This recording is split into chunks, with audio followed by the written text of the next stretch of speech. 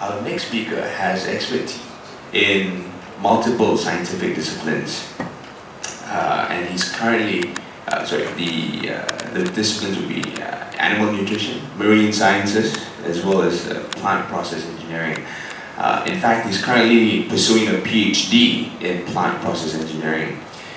his main area of research is actually on degenerative diseases, particularly four main degenerative diseases, which are cancer, diabetes, heart attack, and stroke. Uh, this gentleman is a regular speaker uh, and a trainer at uh, various companies, universities, community centers, uh, Rotary clubs, and events uh, around KL.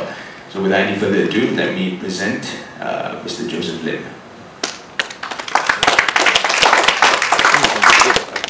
Good morning, ladies and gentlemen.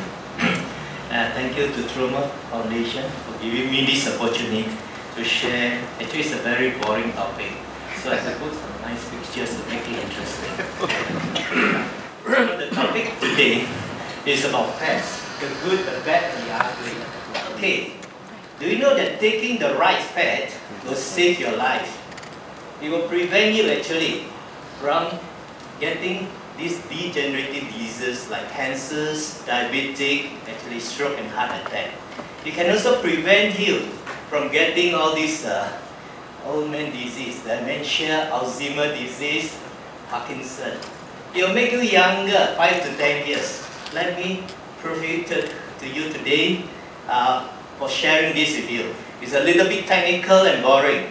Please bear with me, alright? Important. Because it reduces the risk of allergy, asthma, infection. It can also keep you sleep. And it can also help you to reduce the risk of depression. It can prevent also mood swings. Uh, and uh, reduce those degenerative diseases that I mentioned earlier. Dietary fats is actually a supply fat-soluble vitamin. Use uh, vitamin A, D, A, D, K, and beta-carotene. Now, the cholesterol uh, that you take is actually the raw material for these hormones. As I think our earlier speaker has spoken about estrogen, testosterone, and also this uh, DHEA, like hydroxyepiandrosterone, or the collagen uh, hormone. Uh, saturated fats and cholesterol, they are very important structural component of each every cell in our body.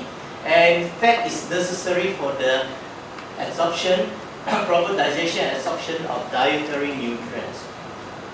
Now, fats are very important because these essential fatty acids, they are actually the building blocks of the membranes. That's the gatekeepers of each and every cell in the body, especially the brain, oh, and they all contain fats.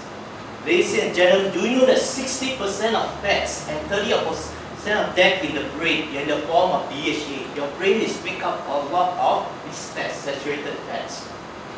And the fourth part of your brain, the part that used for sustained attention, has the highest, highest concentration of DHA, or essential fatty acid. DHA, or one is essential fatty acid, is needed by the rods in the retina of your eye that is for the normal dark adaptation, seeing well in the dark and adapting to the light. DHEA is also very important for fetal and infant brain development. and your brain's brain synapses require long-chain fatty acid to be efficient. Children with milk, milk intolerance have been shown to be deficient in essential fatty acid. And children with poor motor skill, poor coordination, and often lack they are found to lack as essential fatty acids. Now basically, we can categorize fats into three types. The good fats, the bad fats, and the ugly fats. The good fats are normally the polyunsaturated oil, mainly the 3 and omega-3 and 6, and also the medium chain fatty acid. Uh, the short chain, I think earlier Dr. Tan mentioned about butyric acid, there's both in the colon, but then you also need the medium chain fatty acid, which has a very high nutraceutical value. The bad fats are those mainly from the red meat, and they're bad when you take too much of them. And the ugly fat are actually the trans fats. They are found in processed or fried foods, Like hydrogenated uh, oil, for example margarine, they're very high in trans fats and these are the ugly fats. Now, these good fats, there's the essential fats, the omega-3 and 6, and the medium chain fatty acids. They can help you to stay physically healthy. They reduce the risk of allergy, asthma, eczema, infection because they have anti-inflammatory and immune support uh, properties. Every cell in our body is held together by this thin membrane which actually make up of fats, primarily the essential fatty acid. And the composition of these fats in the membrane is determined by the composition of the fats that we eat. Now, due to their physical shape, essential fats contribute to better quality cell membrane, which allow the nutrients and the oxygen to get in and out of your cell more easily. They help the carbon dioxide and other waste material to leave the cell efficiently. Good fats also promotes good mental health. A deficiency of good fats can result in fatigue, poor memory, behavior, development problem, depression, dyslexia, and also attention deficit disorder or ADD and some form of autism. So your child requires good fats because these fats are optimal for your child intelligence, which I will show you later. So the child's ability to perform in the world on a balance of actually mental, emotional, and physical intelligence. Okay. Now EQ, uh, this is not the uh, estrogen quotient. Uh. This is your emotional quotient, uh, your EQ. These are measures of his or her ability to respond emotionally to situation. Uh, there's appropriate and sensitive way. That's what we define EQ. And if a person loses his or her temper easily and switches between depression and hyperactivity, lacking in emotional balance and perspective, there's a room for improvement, how, however bright it may be. Now, on the other hand, is the IQ. Most people are aware that uh, these are intelligent quotient, right? And because IQ test determines a person's ability to make intellectual connection and deal with complex uh, uh, concepts of. And between EQ and IQ today, we have the BQ, right? the physical intelligence quotient, which is all about brain-body coordination. A child with a low PQ may seem clumsy and uncoordinated or have even trouble skills such as handwriting, reading, and also taking notes. People with low adaptability has low, uh, these are PQ. And why? Which I will later think how fats affect PQ, EQ uh, of a person. But basically, let us look at the types of fats in our body. Basically, our body, the fats and the fatty acids in the body, about 45% of it is made up of saturated fats. Now, we have a short chain, medium chain, long chain. As mentioned earlier, the short chain, the butyric acid, those are short chain fatty acid produced at the colon. Then we have this medium chain uh, fatty acids, which is present in the mother's milk. Uh, and also one common good source here is DML, this is a virgin coconut oil. Then we have the long chain fatty acid, which is not a very favorable uh, fatty acids. The other 40% in the body is made up of oleic acid or omega-9. These are 40%. They are called conditional uh, essential fatty acid, which means the body can, if you have fats uh, in the body, the body is capable of actually converting them into medium chain or even polyunsaturated fats. Now, good source is olive oil. Now, you have the PUFA, polyunsaturated fatty acid. They are only 5% in the body. Despite of this 5%, they contain the omega-3 and the omega-6, and they are, they are essential fatty acid. That means your body cannot synthesize them. You have to take it from external source, such as fish oil, perilla oil, chia seed oil, flaxseed oil.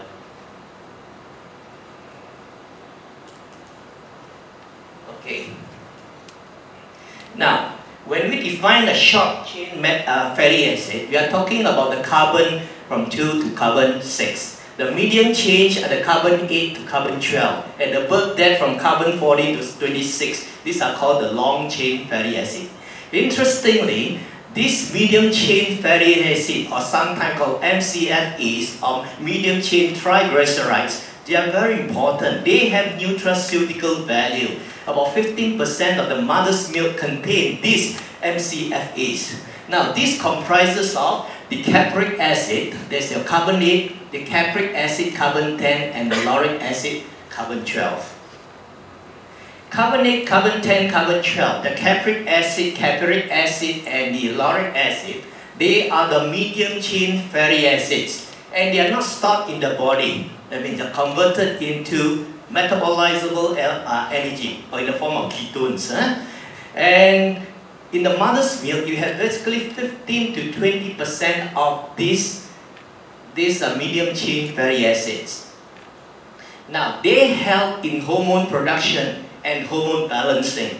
They help in improving the immune system of the body and they provide immediate energy to the cells because they don't need to go through the normal uh, fatty acid chain. They go through what called the hepatoportal vein right into the liver and convert them into ketones. now, in the mother's milk, this is what happened. Let us take a look how this medium chain fatty acid, a lauric acid found in the mother's mother's breast milk, it is taken by the baby, it goes directly into the liver and form a compound called monolaurin. Now monolaurin is very powerful.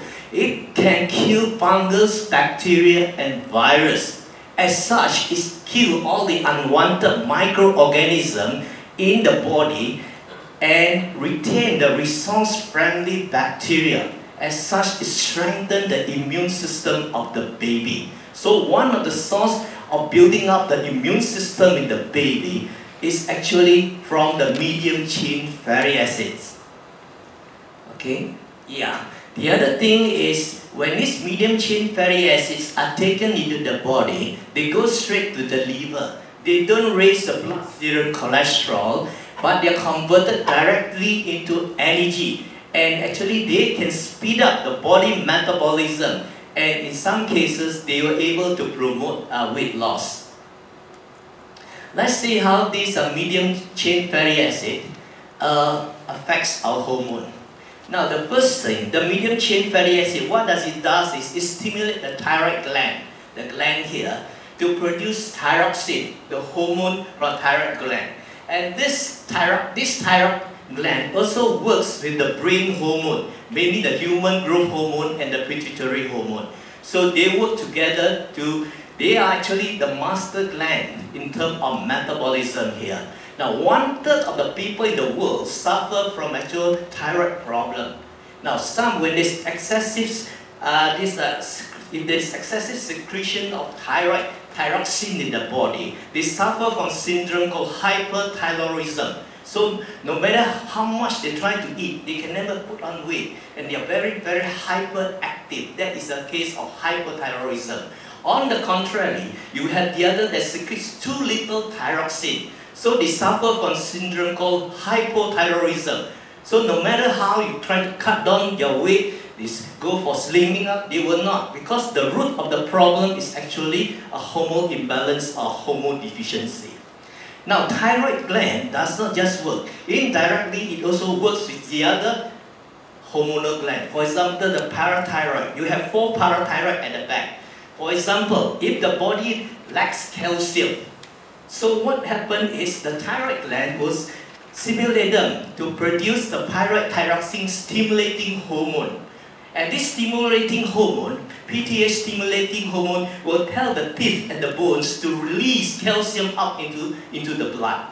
And when there's enough calcium, what happens is the parathyroid gland will secrete calcitonin, which will tell the body, the, the bones and the the blood to stop taking calcium from the teeth and the bones. So a balance of the hormone, both stimulating and inhibition hormone is very important. So that's the precisely some of the reason why some people continue taking calcium supplement over the years and yet they are still deficient and in calcium, the osteoporosis problem and so so horse bone. Because the root problem is either this deficiency or an imbalance in the hormone. So in this case, you guys have to balance between the stimulating hormone, that is your parathyroid stimulating hormone, or the calcitonin, which is the inhibition hormone. So you have two hormones in the body. One is a stimulating, the other one is an inhibition hormone. Okay, let's go through. What does thyroxine hormone does? It goes to your blood. It looks for your LDL, your low density lipoprotein. If the, if the LDL the, the low density lipoprotein is oxidized. It became an apoprotein. That is bad. That causes a lot of helps your arteriosclerosis later on. Your, But the lipoprotein here is the raw material, the lipid and the protein, into breaks into different types of hormones. Now we must understand that hormone depletes every year between 1.25 to 1.5% on an average. At the age of 20, a person has full flush of hormones, there's no problem. But each year, it goes down. At the age of 30, we have almost only 85%. By the time we are 50 years old, our hormone depleted almost less than 50% or 55%. That's precisely why we feel tired in the morning, afternoon, evening. We couldn't sleep disorders or mood swing. These are all driven by the hormones. Now, the first hormone is the production of growth hormones in the body, right? Wherever it's the stop. And the second one is actually your sex hormone. The precursor of a sex hormone is your pregnenolone. After the pregnenolone, it becomes your testosterone. That's a precise, every lady or woman has one ninth of your hormones, their testosterone, male hormone, unless you can you take some of these male products or like from Ali, Maca, everything. Then you have higher level of male hormone. After the testosterone, it moves to form your estrogen, which I think Dr. Tan has clearly indicated what is estrone, what is estradiol, and what is estratrol, the E1, E2, E3. So the precursor is from the testosterone, eventually going into estrogen. Now the third hormone is actually your DHEA, that is a dehyd dehydroepiandrosterone. Now these two hormones are the most abundant in the body and they also deplete about 1.5% in a year, in every year. One produced, one produced by the kidney, the other one produced by the brain. Now DHEA has four functions. Now sometimes this is also known as collagen hormone. Now what is the first function?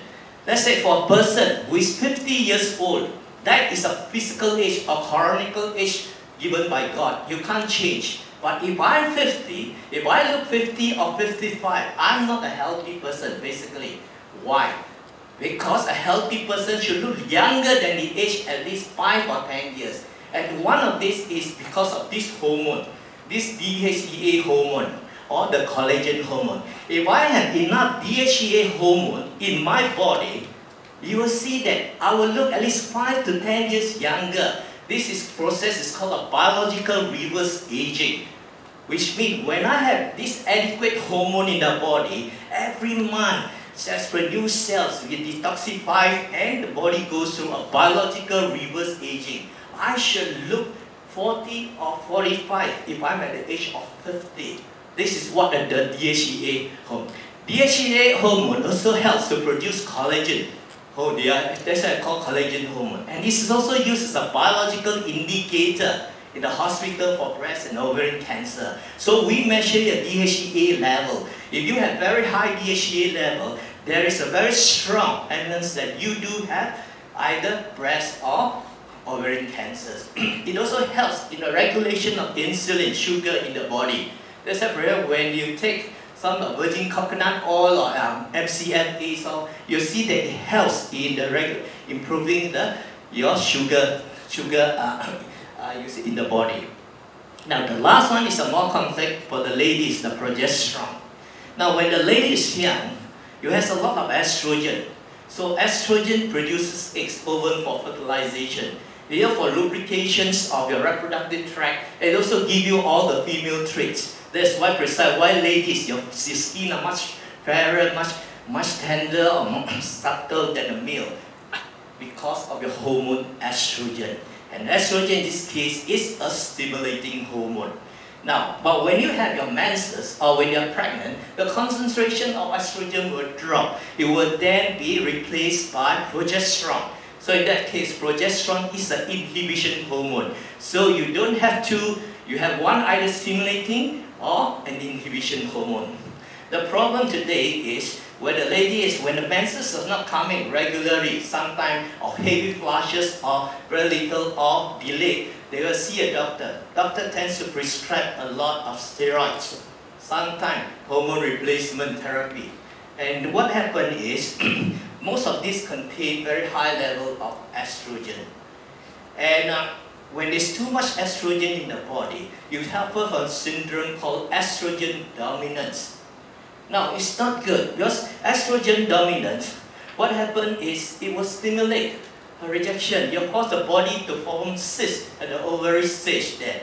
Alright, and later these cysts can become fibrous. So you got cystic, fib cystic fibrosis and later it can develop into ovarian cancers and it can spread into breast cancers. That's precisely in Europe, America. We stop prescribing estrogen to the patient because there's strong correlation between estrogen dominance and breast cancers and ovarian cancers. But yet in the Asian Pacific, estrogen is still widely being prescribed in the form of in steroid. You have a syndrome called estrogen dominance. When there's too much estrogen, it will suppress your progesterone level.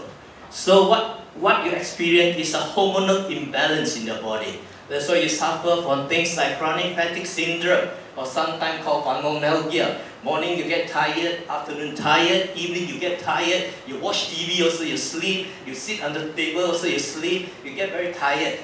Then you have all these irregular menses. Sometimes it comes, it delay a week, two weeks, or heavy flushes, or very little. And you also have things like uh, hot flushes, uh, hot flushes, or mood swings. Uh, in the morning, you have very nice, suddenly at 10 o'clock, your mood start going haywire, and then in the evening, your afternoon, your mood comes. No, this is not your fault. Because it is the hormone that is driving, you, that is driving you, the mood swings. And there are loss of focus, uh, people get excited, uh, you have anxiety, and some you have depression. So these are all the symptoms of hormonal imbalance. So what you do is when you have symptoms of, of that sort, take an MCFA, things like virgin coconut oil or lauric acid or capric acid. What it does is that your body recognizes there's a hormonal imbalance. There's too much of estrogen and too little of your progesterone.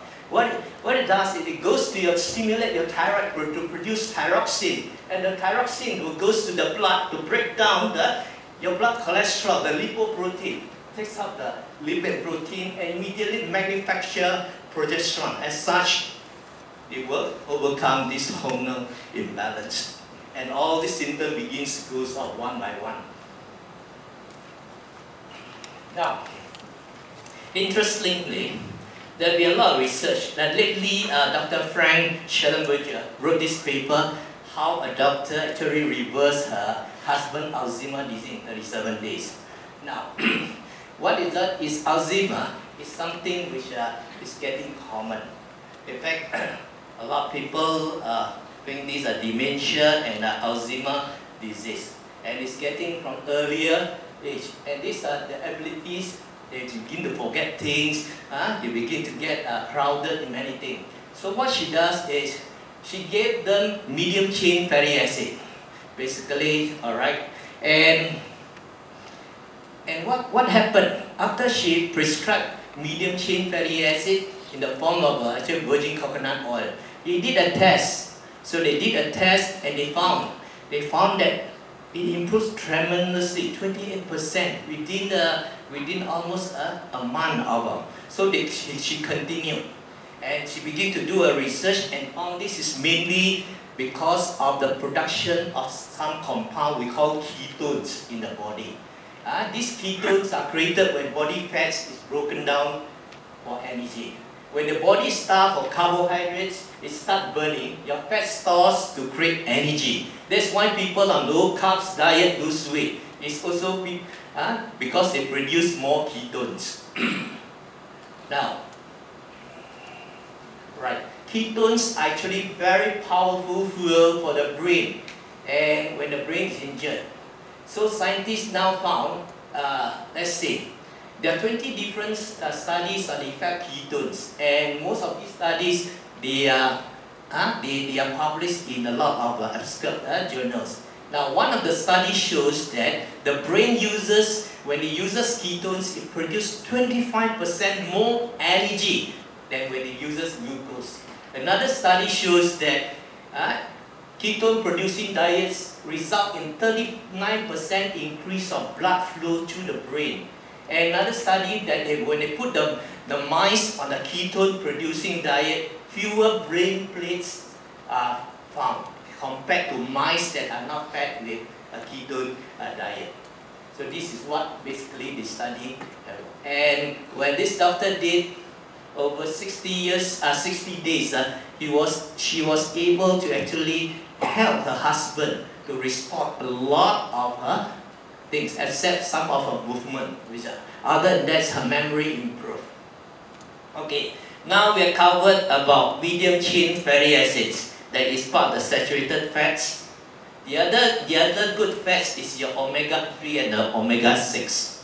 Now the omega-3 and omega-6 it actually refers to where the double bond in the fatty acid is.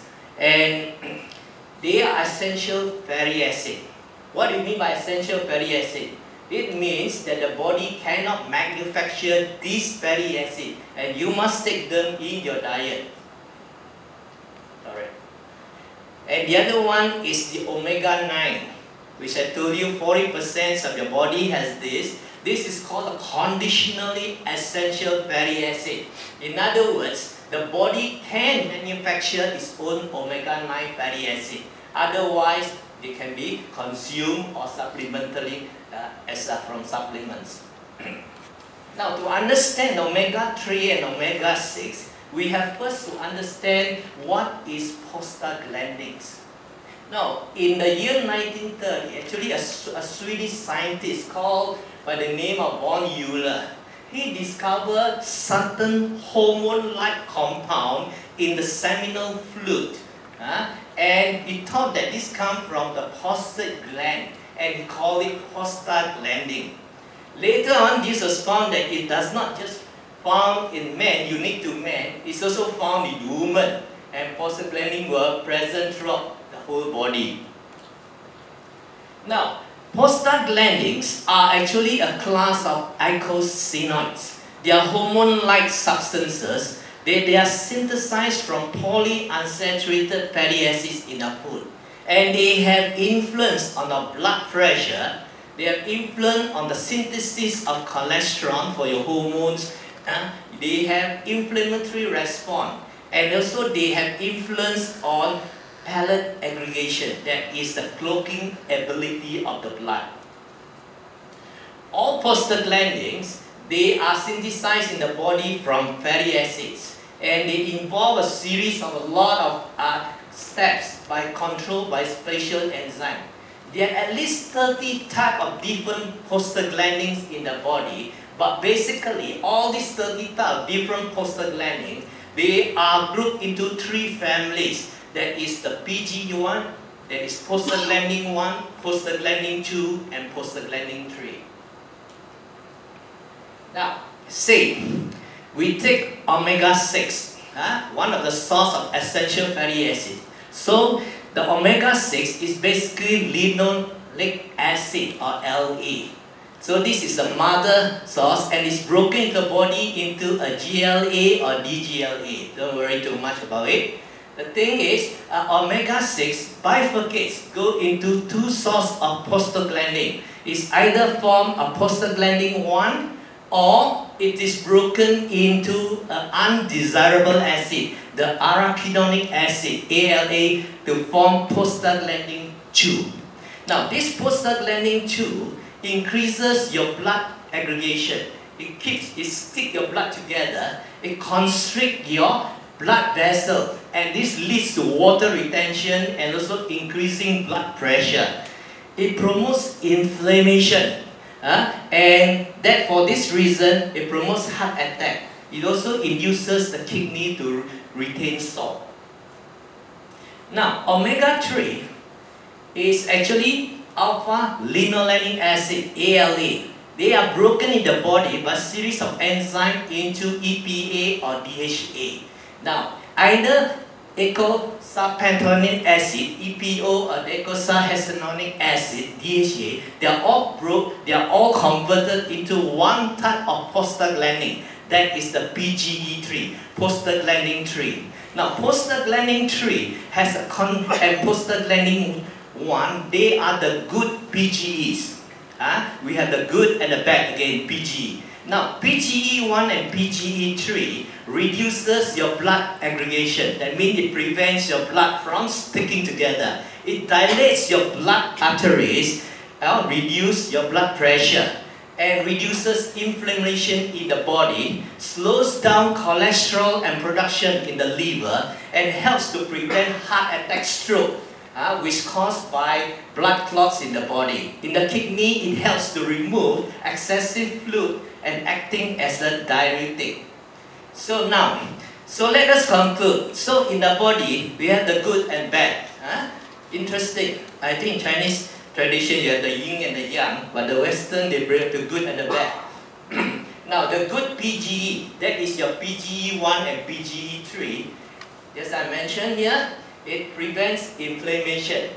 It prevents allergy. It promotes immune system. It boosts brain cells. It prevents heart attack. In the kidney, it helps to remove fluid and acts as diuretic. Now, the bad PGE, the PGE3, opposite. It promote inflammation, promote allergy, suppress immune system, retard brain cell injury. But, there's one function, prevent internal bleeding. Now, what does this mean? You need PGE3 too. When there's inflammation in your body, there's internal bleeding. You cannot get a doctor to go inside your body to stop the bleeding, right? It has to help do itself, and this is what the job of PGE2 So what does this tells us? You need both omega-3 and omega-6, right? But in the right ratio. Let's say Again, it's very boring. Uh. Sorry, ladies and gentlemen. I hate lecturing, but I'm a lecturer. I have to do my job. Thank God. Okay, good PGEs. Huh?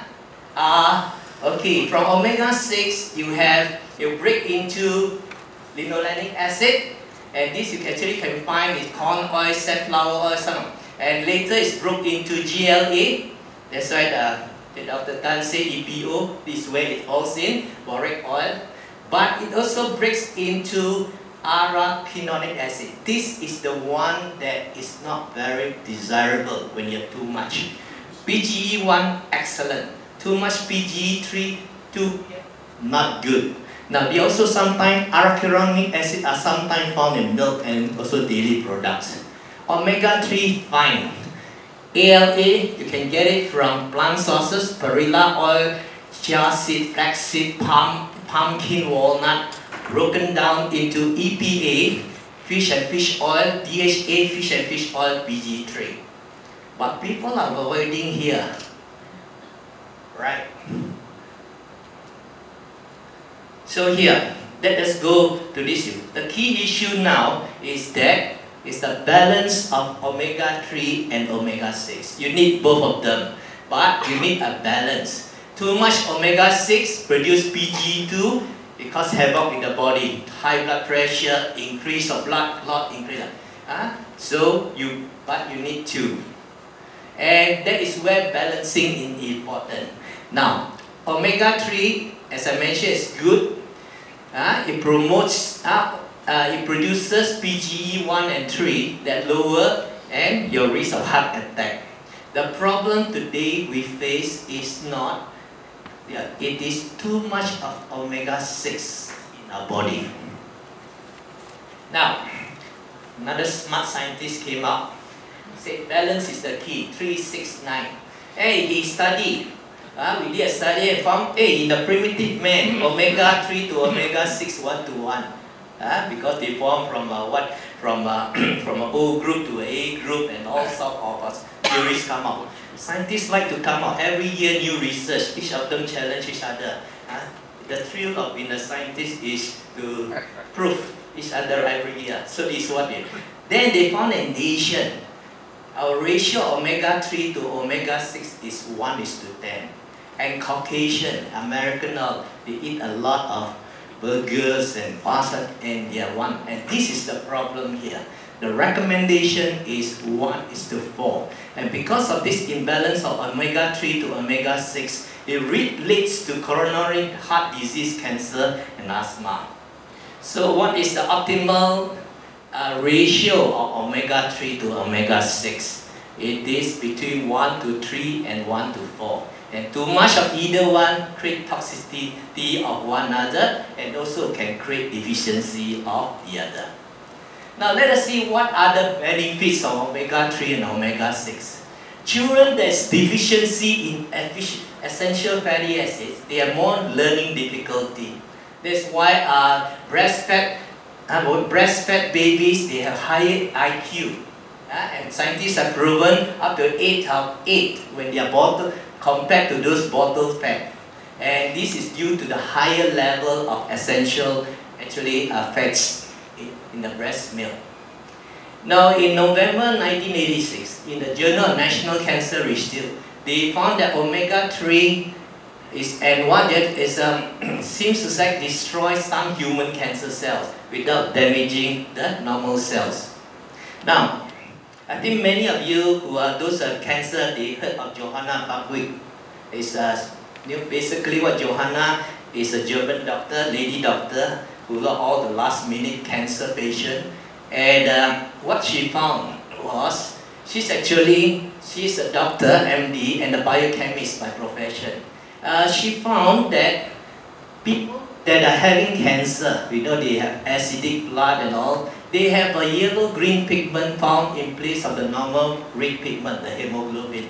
And along with certain, that she gave them actually three tablespoons of flaxseed. During that time, we used a lot of flax. Flaxseed so have a very high omega-6. so what she did is she gave them a lot of this essential fatty acid, huh? omega-3, and later within three months, she found that this green, yellow uh, were replaced by the red, and the cancer was uh, gone.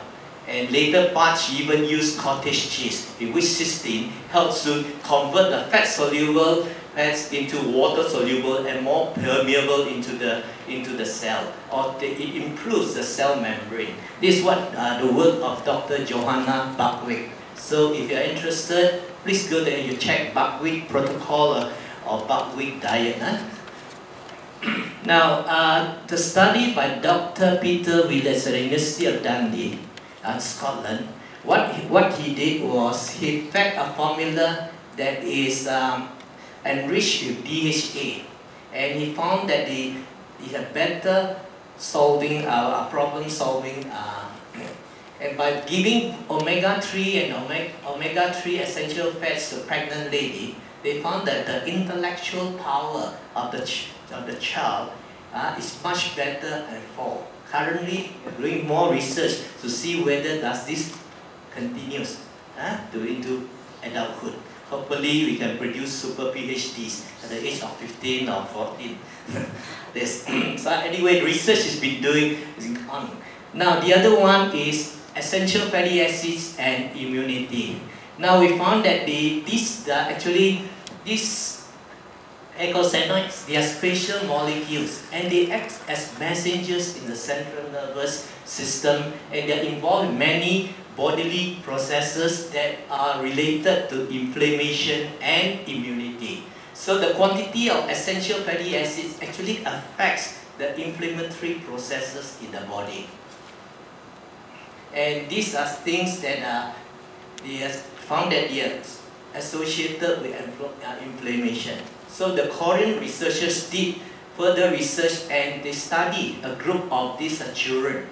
What they did was they measured 308 children, uh, their blood uh, they take from blood and they measure their red blood cells to see the level of EFA, essential fatty acid, and also the prevalence of allergic symptoms such as dermatitis, hay fever, and asthma. The result shows that children with most symptoms will found lowest level of EFAs, especially omega-3, the EPA and the DHA. They are found in oily fish. Okay, so we know that medium chain fatty acids are important. Uh, Omega-9 are conditionally uh, essential fatty acids and also omega-3 and omega-6 they are they are essential fatty acid and must be taken in the right ratio. Now what are the bad fats? Honestly, we are reluctant to call saturated fats the bad fats because the saturated fat, the short and the medium, they are very important. What that's not good are the long chain fatty acid. And most children who are overweight, the biggest culprit is actually mainly sugars and trans fatty acid. Now these are the, these are the ugly fats. These fats are damaged. Trans fatty acid does not exist in nature. For example, if I take soybean oil, a long chain, high in polyunsaturated fatty acid, I leave it in the supermarket for a week, it will turn rancid because of the long chain. So in order to make it stable, I have to break the chain. That's what chemical engineer, uh, processing engineer does.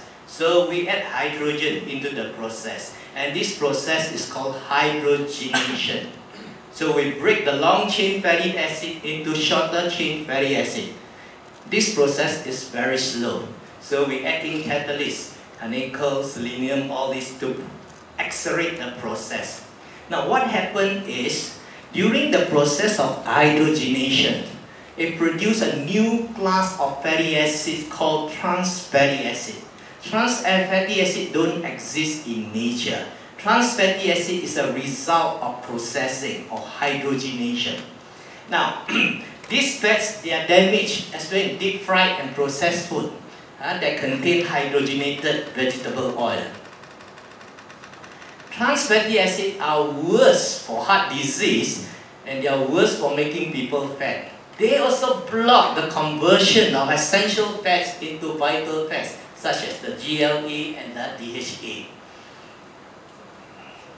And the deficiency in uh, omega-3 and you have an excess of trans fats and also lots of sugar. Ah, that is very, very bad. Those are the one that trigger a lot of degenerative diseases. Ladies and gentlemen, do you know that today, one out of four people are suffering from degenerative diseases such like cancers, diabetic, heart attack, and stroke.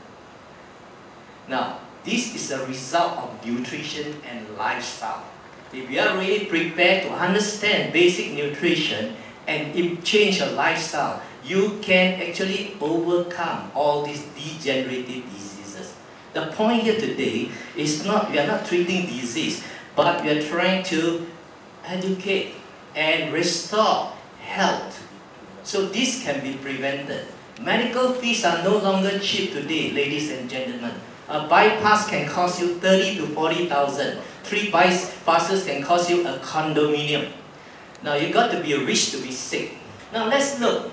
A chip, a serving of French of chips and uh, fried, fried fish can deliver 8 grams of trans fatty acid, a donut 12 grams, and a bag of chips up to 4 grams.